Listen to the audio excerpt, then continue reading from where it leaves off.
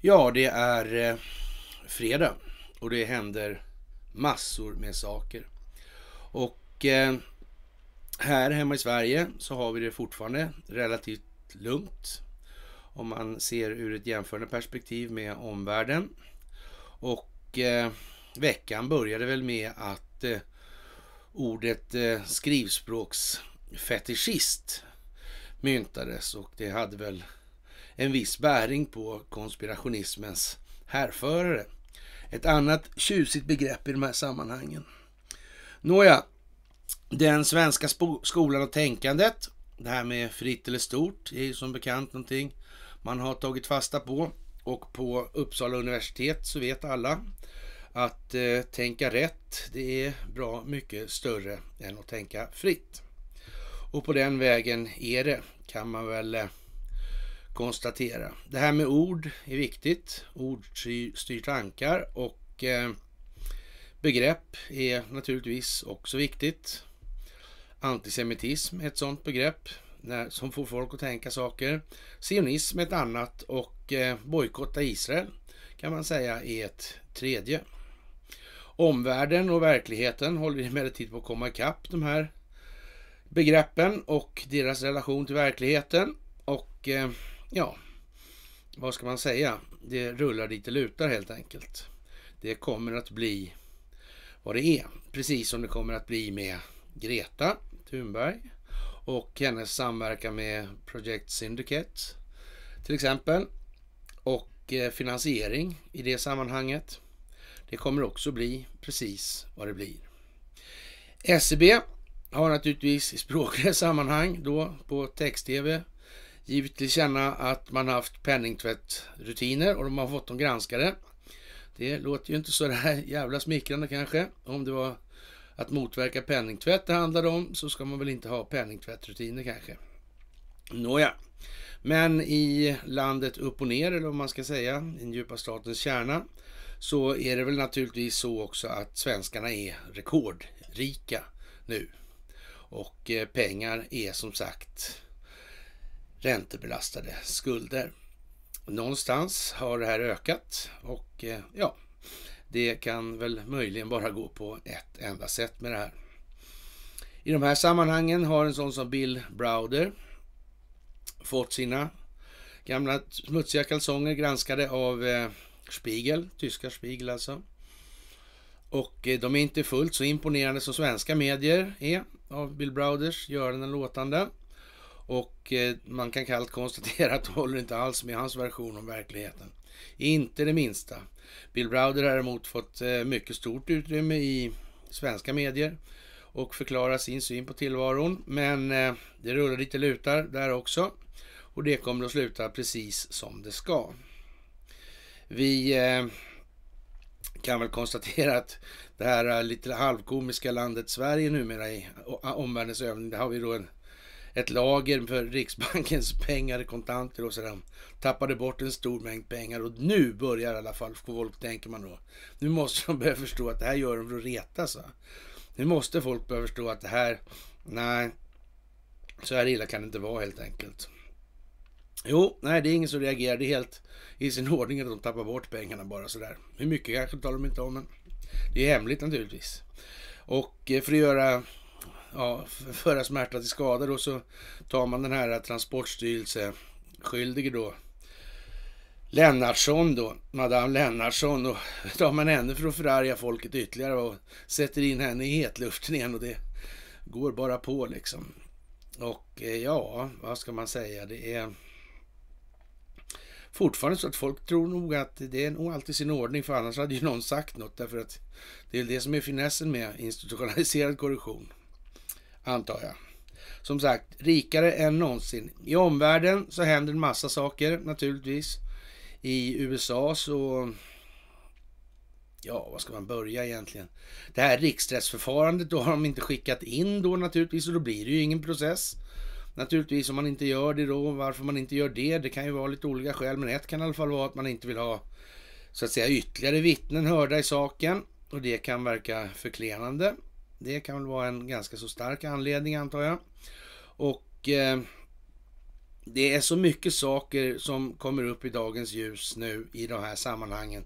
Så att svenska medier kommer ju för alltid att framstå som, ja, jag vet inte, det, det, är liksom, det är bortom löjeväckande och det går inte att missa. Och det som är mest pinsamt i allt det här, det är naturligtvis den omständigheten som gör gällande att svenska politiker överhuvudtaget inte adresserar den här frågan på något sätt. Det är riktigt pinsamt. Och eh, det ser ju inte ut som det kan bli så heller, för då kommer det ju ta hus i helvete. Bill Browder sitter alltså jättehårt ihop med SCB naturligtvis då, som är inblandad i den här penningtvättshärvan, där de har penningtvättsrutiner på SCB. Och eh, ja, det är väl egentligen inte mycket, alltså det finns öppet nu precis allting, det är ingenting att säga. Så den som inte tror att det här havererar när Riksbanken höjer räntan nu. Och är det någon meningen att man ska öka räntekostnaden totalt sett i samhället, då blir räntekostnaden större, helt säkert. Ökar den så blir den större.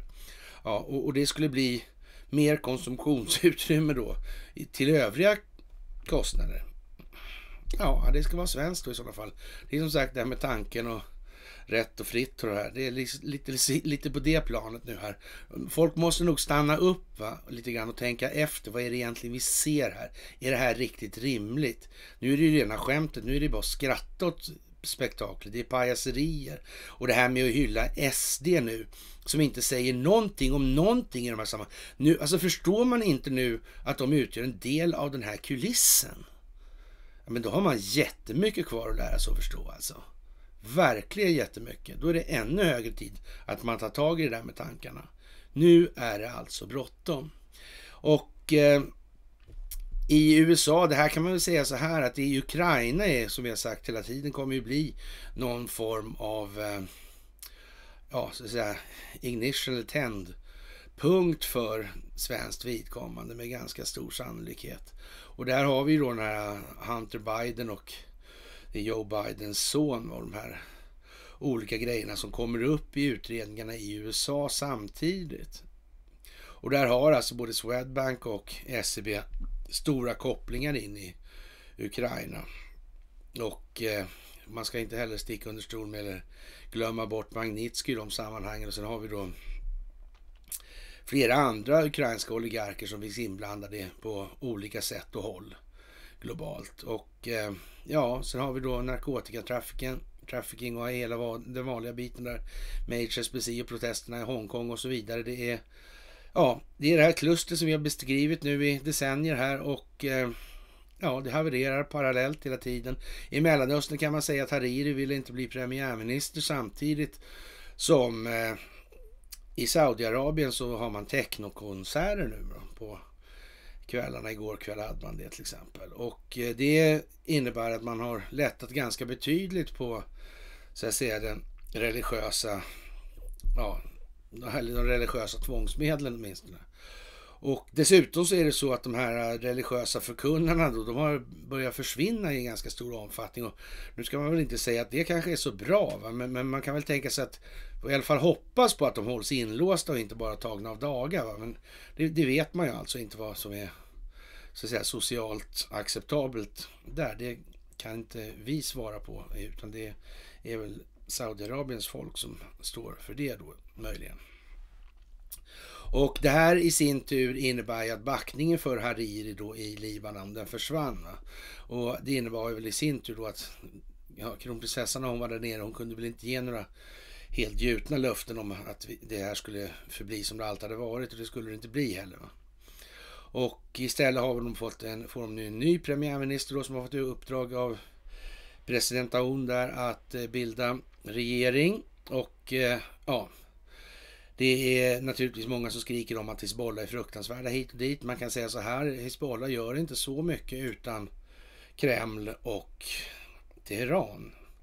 Och eh, Kreml och Teheran är dessutom lierade med Turkiet och problemet i Libanon är väl till stora delar ekonomiska så att idag då när Erdogan går ut och säger att han föreslår att Mellanösterns länder börjar handla i egna valutor, då får vi nog anta att han har tänkt till någonting i det sammanhanget faktiskt.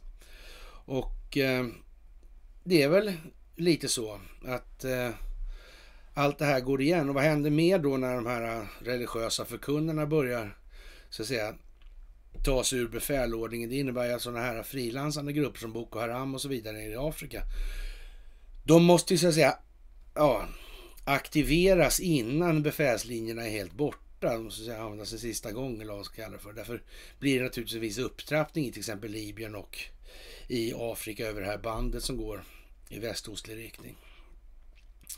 Och vi kommer ju få se mycket av det här framgent här som kommer att effektueras. Men frågan är om det verkligen blir så stor dramatik. Det är, känns inte riktigt som att det ska behöva bli det.